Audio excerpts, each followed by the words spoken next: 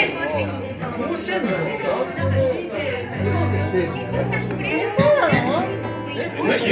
う組んでは解散、組んでは解散。バンド歴は作り方はさすがだね。見習うこれもまた初めての後で後でこのメンバー違う感じであのバンドやりますのでまたよろしくお願いしますねここ初めて合わせますあのとても静かですごくいい曲なんで間違いないようにやりましょう。ねゆっくりゆっくり。いやいやいや、あのみんな自分が楽しみたいみたいな。そうまだまだ自メイドたちが盛り上がってる感じですっちが先にこういう。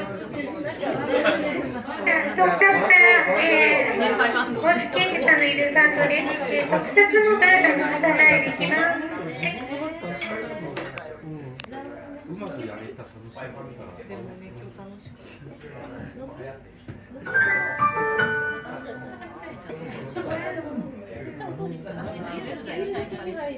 た